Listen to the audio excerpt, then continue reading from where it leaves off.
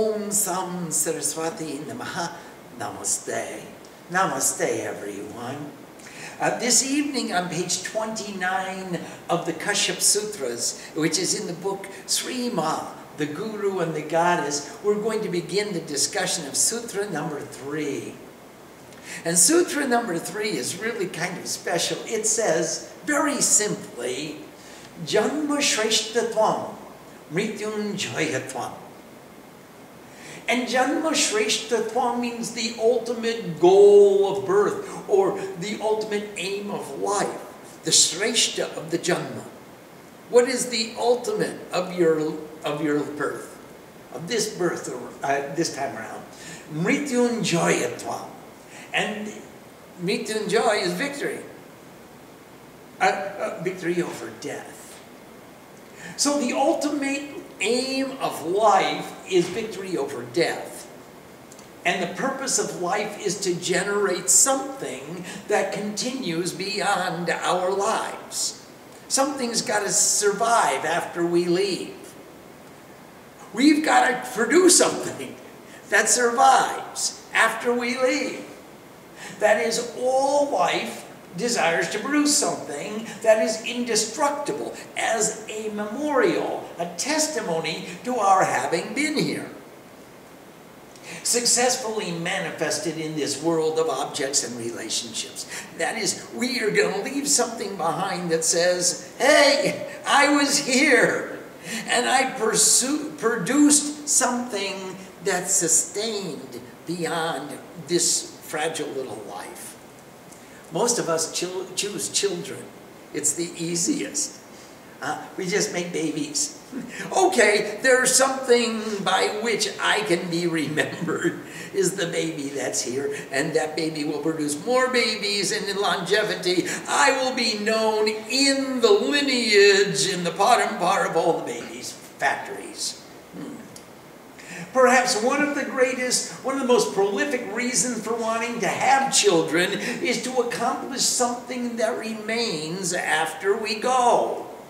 To produce something that is going to stay here and continue this legacy.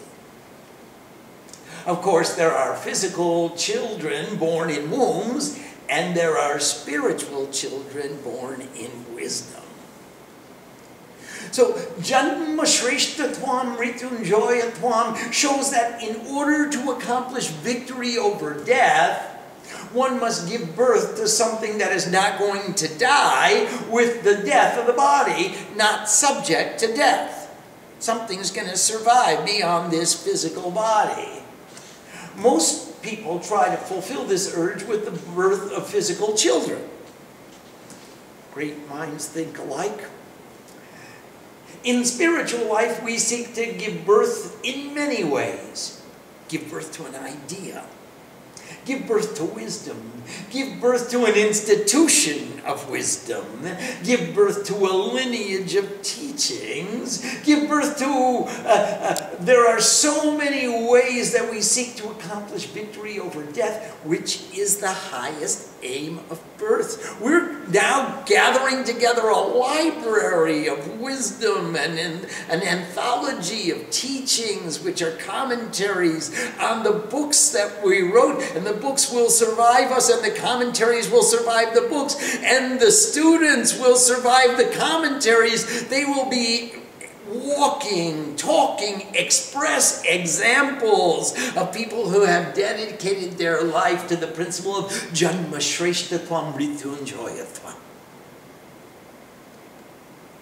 So when we look at the history of the truly noble souls who actually attain victory over death, we find examples of people who are remembered with the highest respect because of the ideas they manifested during their lives. The greatest of them attained the highest freedom. And therefore, each of us should strive for freedom. When we take birth, we have three debts of karma. The debt that we owe to the devas, to all the gods and goddesses, which we discharge by making a contribution to all of life, making this world a better place because of our having been here.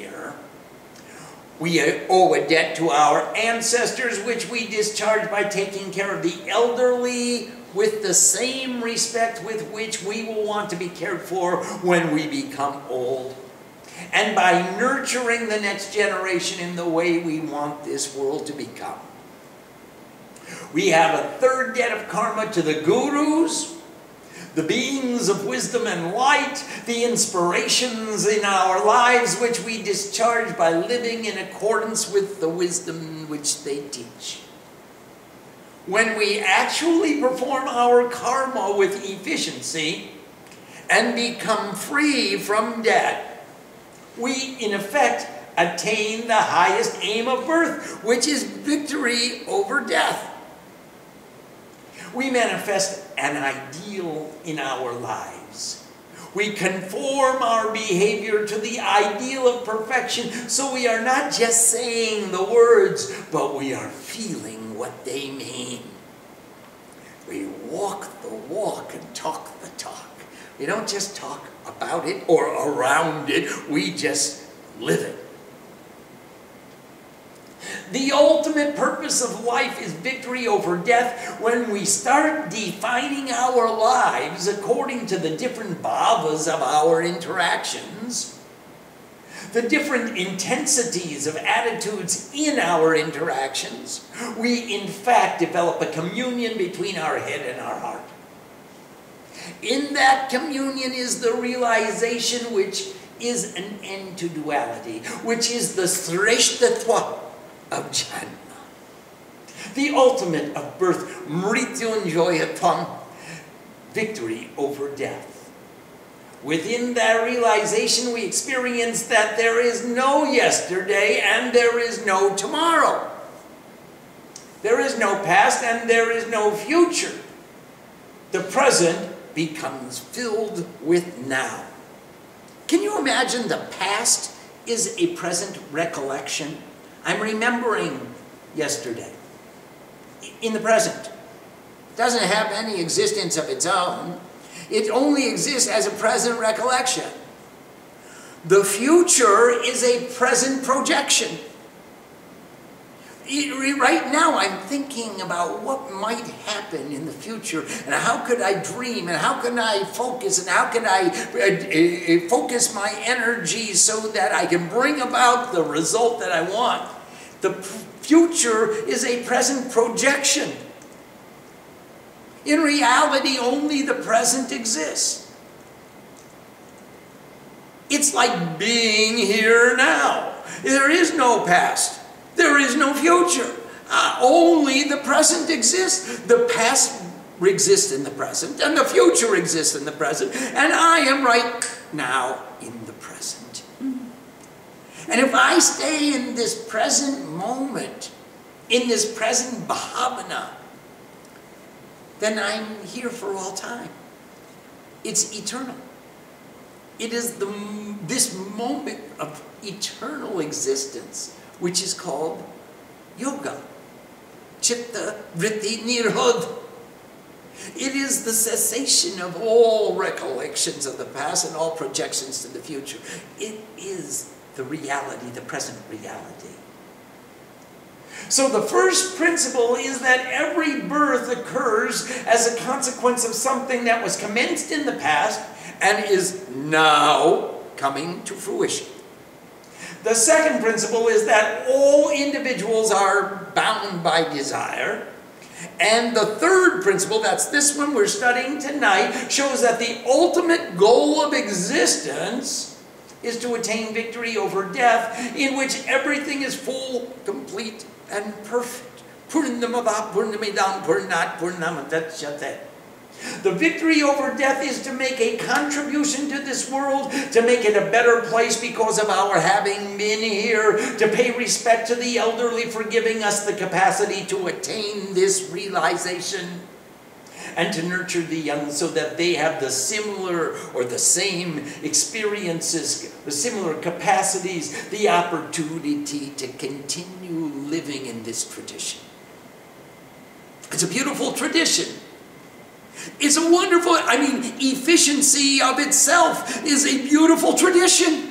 Wouldn't we want to propagate efficiency ourselves, living in an efficient manner where we just do what we're supposed to do when we're supposed to do it with the minimum of, eh, eh, eh, of consumption of resources and the minimum of, of wasted time and the perfect efficiency so it's accurate and it's, it's true and it's correct the first time we deliver the project?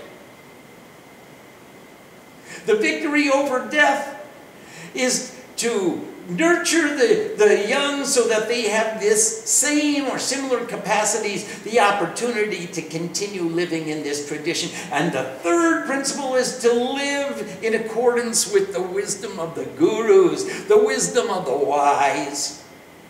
If we can do that, if we can put our head and our heart in communion, we stop worrying about yesterday and projecting about tomorrow. And we live in a state of now where there is no prarabdha karma. We efficiently, effectively dispose of all the prarabdha karma. All the arrows come to land.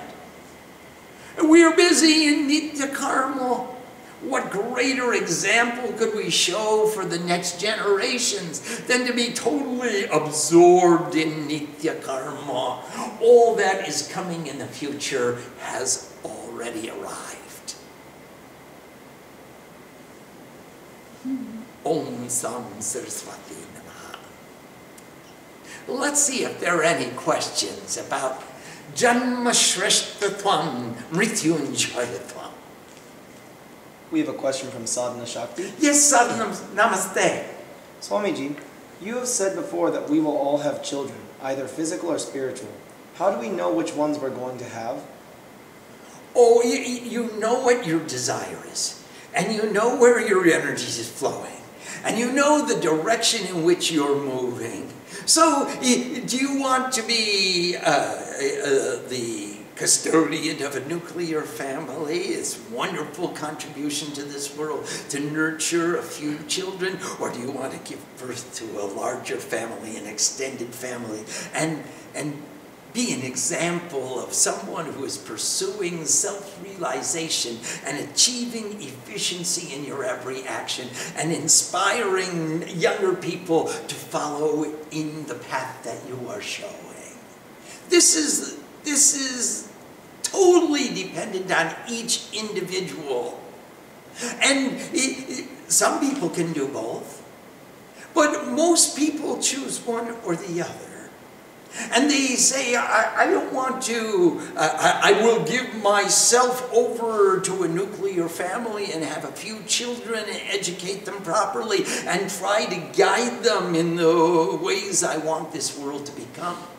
And other people say, I'd like to refrain from having the responsibility of a nuclear family. Why shall I take care of two or three or four kids when I can inspire hundreds or thousands? So this will be the choice that we make. Uh, it, it's a sankalpa. Now, in order to do that, you want to take all of that energy that comes to you and put it all in your heart and bring it up to your, your head and put your head and your heart in the same place and say, this is what I really want to do. I see the example before me and I want to follow that example. I see the sages and the saints that I have accomplished this way of life, and this is what I want for my way of life.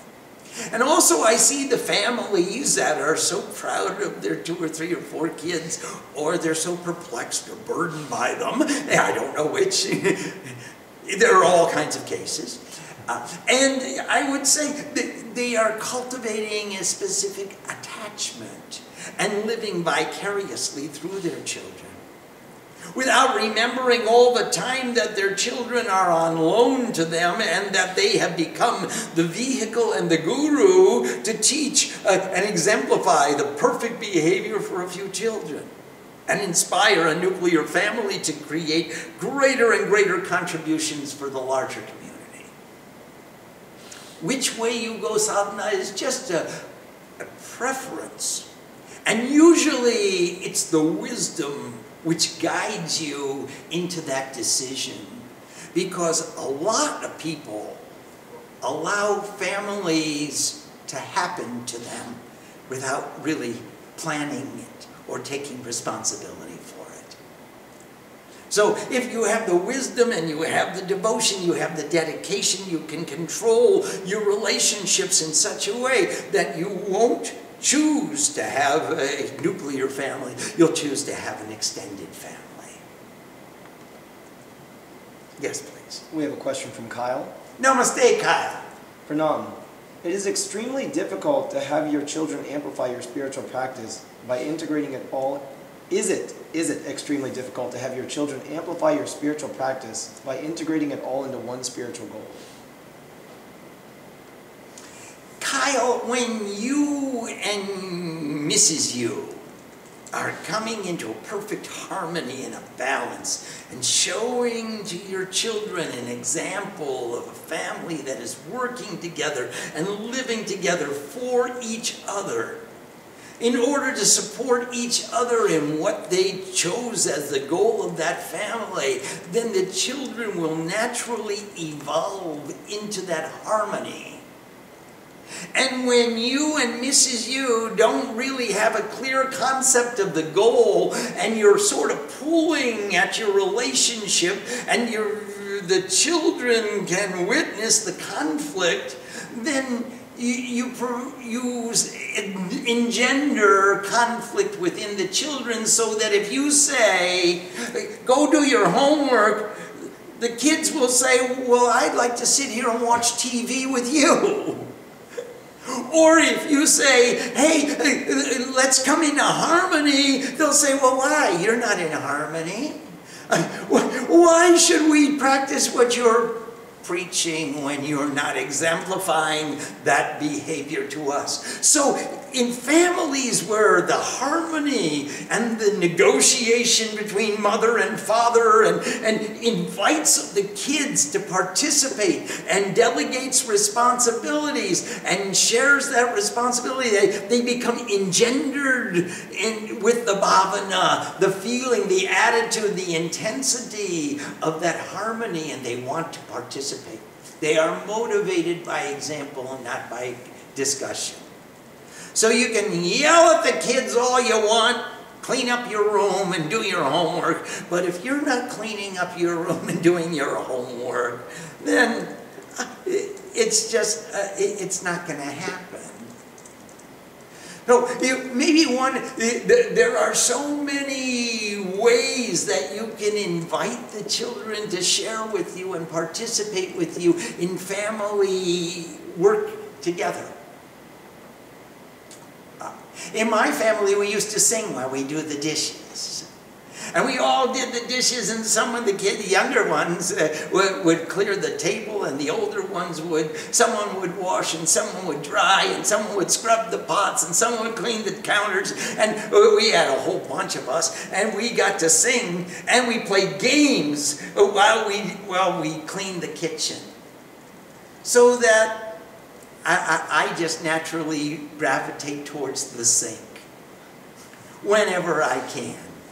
Whenever there's not a, a, a crowd standing in front of Shree Maa's sink, I try to worm my way in and wash my own dishes myself. In the same way, Kyle, you can establish the bhavana of family participation and you'll work together, you'll pray together, you sing together, you love together, and that would be the example the children will want to follow. We have a question from Julia. Namaste, Julia Ma. The other night you were talking about how we are engaged in the world to express our spirituality, our love of God. And last night you were speaking of actions we do with this respect. When the Buddha was sitting under the tree and being tormented by the offerings of desires, it is said that he touched the earth with his hand as his ultimate reply. Was he indicating his commitment to his karma with this gesture? Or maybe he was becoming grounded himself. He was touching the earth as a core form of buddhi shuddhi. Bhumi Shuddhi is a part of the, the establishment of the pot. He was establishing himself as part of the earth. I'm grounded and rooted in this earth, and I'm not going to be moved by desire. I'm not going to be moved by egotism or attachment. So, in various ways, Buddha exemplified to us the centeredness. He had a, the, the, the right way and the right path, and the balance was always important to him. Now, you'll excuse me, Julia, but I am not a Buddhist. I am not looking to do everything in the right measurement or the right proportion. I want to go all the way. So I'm a little bit over the top. I call it tapasya. Many people do. Tapasya is not exactly the middle way. It's all the way. It's the way of a sadhu who really wants to make that commitment with a capital C. He wants to do the most, the most efficiently, the most focused, the most directed, the most uh, uh, strongest adherence to the tenets of his sankalpa. He's striving for perfection, whereas Buddha's middle way says, okay, I want to be rooted in the earth. The sadhu's tapasya says, who cares about the earth? I'm ascending to heaven. We have a related question from Manohar. Namaste, Manohar. Sweet mother and father, Buddhists focus on learning to die well. Besides the lack of fear of death, what are the practical methods to die well? I know living well is a prerequisite in order to die well, but what more? Oh, there's much more, Manohar. To die well, we have to, first of all, pay off our debts of karma. We have to be ready to go. And that means I've got no attachments pulling me back to the earth. I've cleaned off my, my plate, cleaned up the mess. I'm not leaving a mess behind. Nobody's going to come running after me and say, Hey, Swami, you can't go just now. Where are you trying to go? You've still got outstanding karma. I, I would think that the being ready to go means I've cleaned off the plate, I've paid off the debts, I've got my karma organized, I've prepared my will, I've prepared my trust, I've delegated the authority, I've given the power to the kids, I've empowered the next generation. Manohar, there are so many steps that we want to take to live well in order to be free to go at the time, at the appointed time. Oh, I would think these are some of the criteria by which we want to organize our lives and empower our elders to organize their lives, that they have engendered within their children uh, an inspiration and the information and empowered us to be self-sufficient contributing members to society. Sufficient that we can escort them to the gates of heaven and chant the mantras as they leave and say, hey, uh, open up. My parents are coming. Open up. They're, they're ready. They have no outstanding obligations. Please open up. Now that would be a good kid a kid who was well empowered and well inspired and well endowed would say, sit there and wait for the appointed time so he could shout, Hey, Indra, open up! Yum, escort my parents, escort my folks to the gate of heaven and let the gates be opened wide. I would think those are some of the things that we will want to accomplish, Manohar, uh, in, in order to have lived well, in order to be able to, re- to be ready to leave this earthly plane. We have a question from Chandana. Namaste, Chandana. Pranam. Is it impossible to realize God before we have finished our karma? Oh, once you realize God, you go so efficiently and so effectively that your karma gets done in a blitz. You get so efficient. You know just what you want to accomplish to be ready to go to God. It's very much the similar principle as going to heaven. You want to be say, able to say, God, if you're ready to take me, I'm willing, ready, and able to come. I've got it all organized. I've been waiting for you. I'm ready for you. I paid off my debts. I have no outstanding debts. I'm living on a cash basis. I'm not putting everything, all of life on a credit card. I'm putting life on a cash basis. I know where I'm going and I know how I propose to get there. And I'm not borrowing in order to do it. I'm making a contribution to, the, to society and to civilization and to the world because of my presence here. And I'm, if you're satisfied with the nature of the contribution I made, you'll take me into self-realization and liberate me from all the bonds of karma. And whether you choose to send me back or not, I'm ready to be with you. I am ready to be an instrument in your hands. I'm not just thinking about my own self and what I did and what I've got to pay and what I got to do and how I get a job and how am I going to pay for what I'm supposed to do and where how am I going to fulfill all my desires and maybe I should get married and maybe I shouldn't get married and maybe I should live in a fancy house or maybe I should live in an ashram. I've got it all together, God. I've got, I just want you.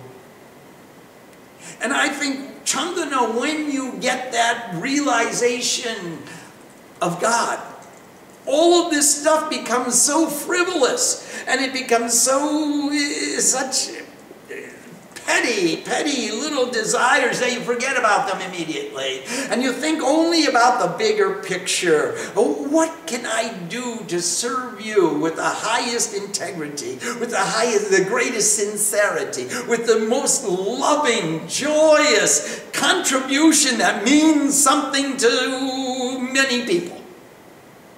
That will be your consideration once you have that experience of godliness. What do I have to do right now in order to clean up all the messes I ever made? And how do I live my life in such a way as I will not make another mess? That will be your criteria, Chandana. I think that as soon as you have that experience of godliness, all the rest becomes bakwas, nonsense.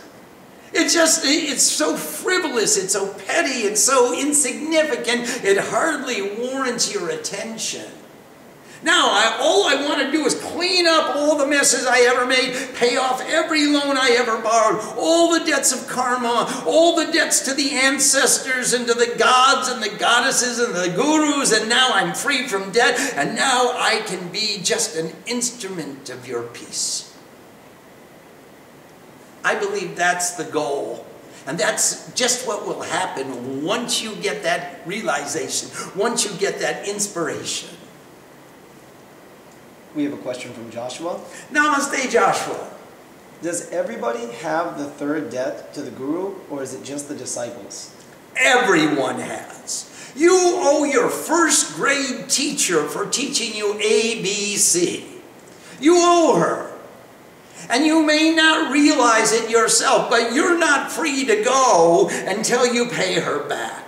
And how do you pay her back? Well, there are many ways for many people. One of the, the most obvious ways is to teach the next kid that comes along ABC.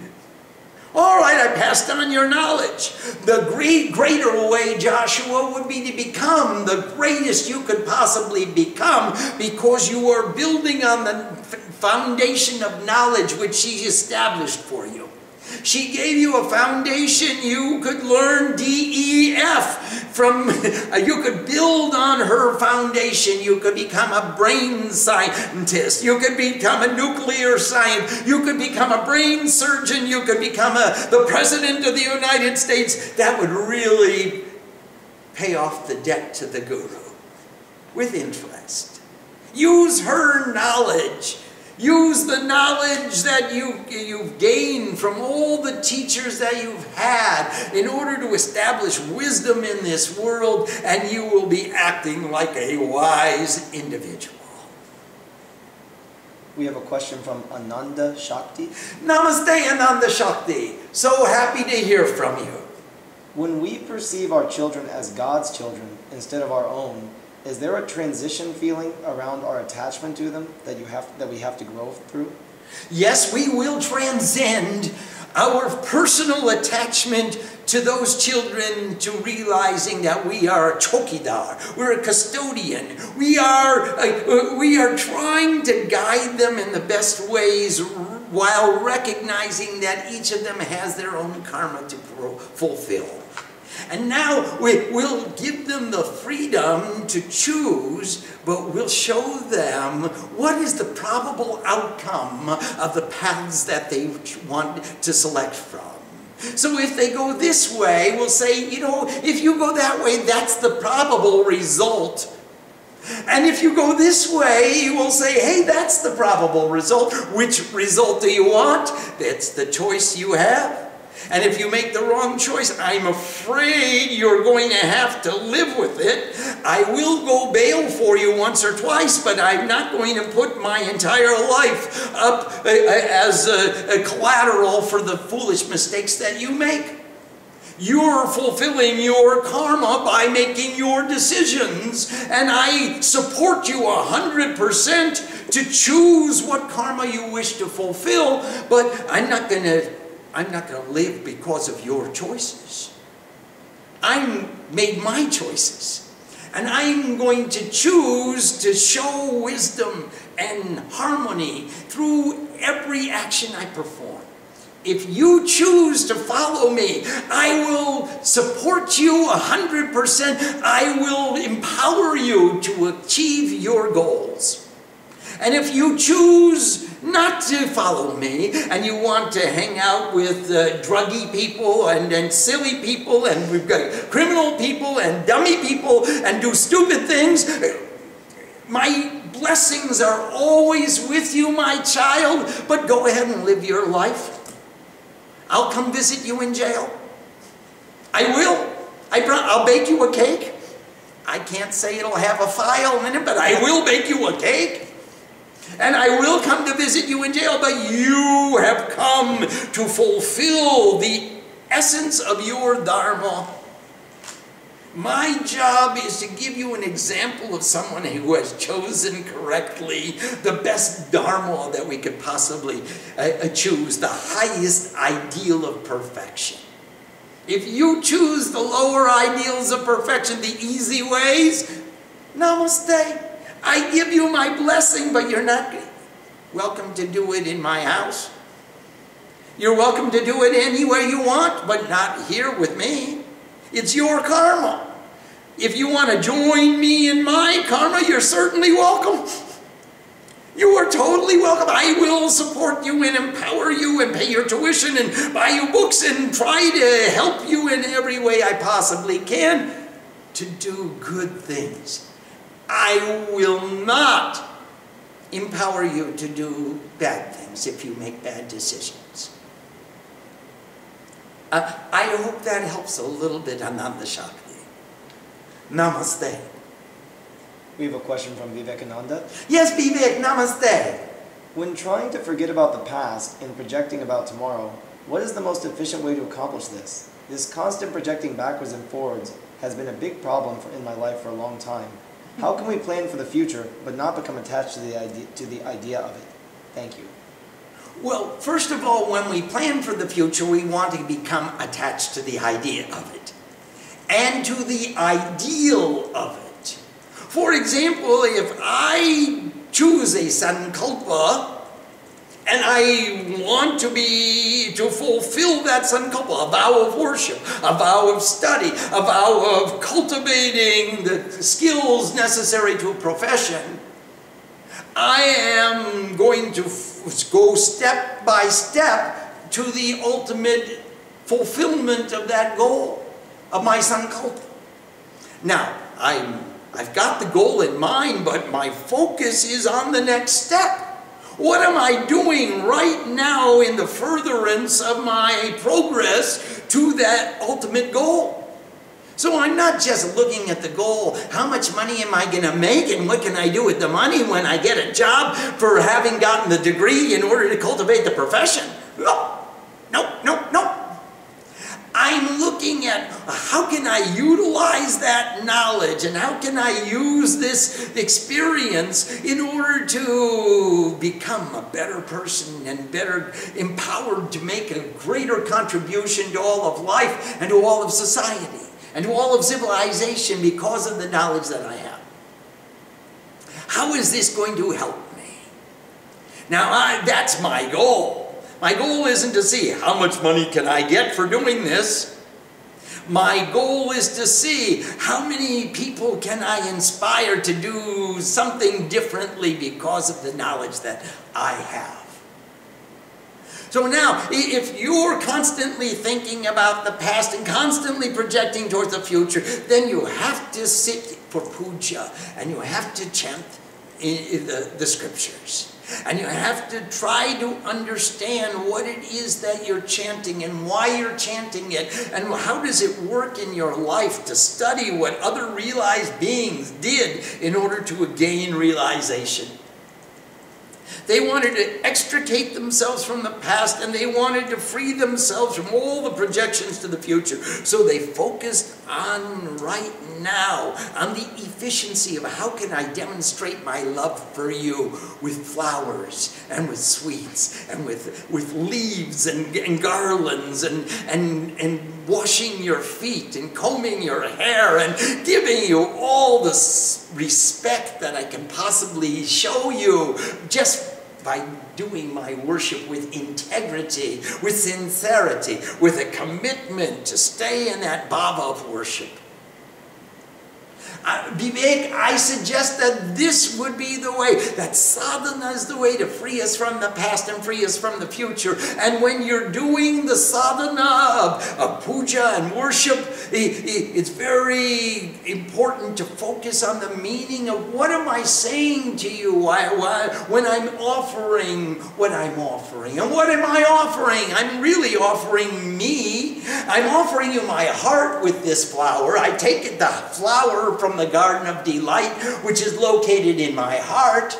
Now, how do I eh, eh, eh, change my work and my study and my school into the same offering to you from my heart. I want to become empowered to make such a contribution that I can inspire change in the lives of my sphere of influence. And I'd love to increase that sphere of influence and so that I, I get the right feedback from good partners and good players and we work together to working efficiently to empower each other. That will be our goal. And now I, all of these things of uh, I'm doing this towards the end of making money, that's not true. I'm doing this towards the end of living comfortably and taking the day off and kicking my feet up and, and watching the boob tube. No, that's not true. I'm doing this with the goal and the understanding that I could be, become more efficient so that I can empower my sphere of influence to work with me more efficiently. And together we could create something monumental that will survive us. We are going to create something. I don't want to just leave a bunch of kids running around this earth. I want to leave a monument to wisdom and a monument to the love of my life, which is what the Devi Mandir is to me. That's why we created it. It was it is a monument to the love of our lives. We love God. And we made this Devi Mandir, this temple of the goddess, because we love her and we want to show her our love.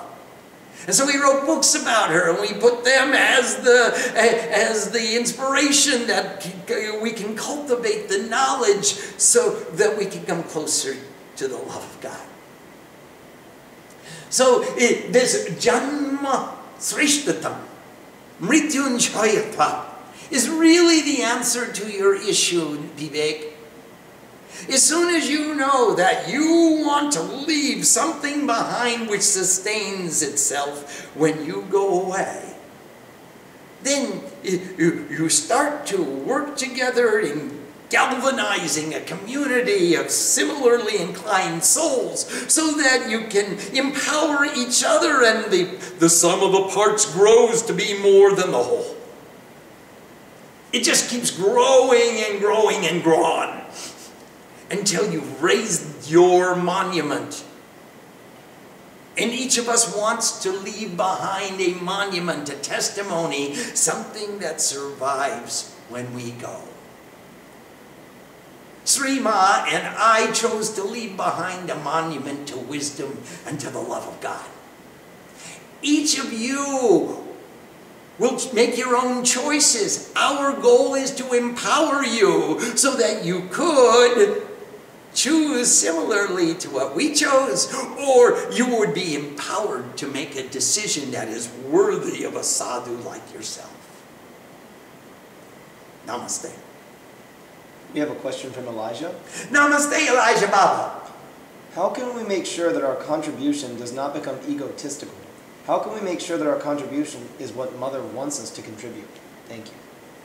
Well, First of all, those things that Mother wants us to contribute are generally in the flow of harmony. And generally, it comes from an inspiration of your heart. And you can see the purity, you can see the clarity, you can see the utility in your contribution. Does it raise other people up along with yourself? Or does it only raise you up? So you know if it, it only raises you up, then it's got some ego in it. And it's got some attachment in it. But if it raises up your entire community, well, it's probably for the benefit of others. It's for the benefit of your guru. If it raises your spiritual community, if it's an, a, a, testimony to your love and your respect to your guru, well, it amplifies her knowledge. It expands her sphere of influence. It, it pro, pro, promotes the ultimate ideal of, that the Guru stands for, which is the illumination of the light in the darkness. And, and she wants to leave behind her Janma Shreshtatam Mrityunjayatvam. She wants to leave behind an immortal example of, of inspiration and information that will empower um, generations to come to do actions in purity and clarity with efficiency and integrity. With pure devotion. Excuse me, with pure devotion. Absolutely. That's her goal. That's what she's doing. Now, are you part of that program? Then it's not your ego. If you're not part of that program, if you're thinking about me, me, then it's got ego and attachment within the action. Om Sam Saraswati Namaste.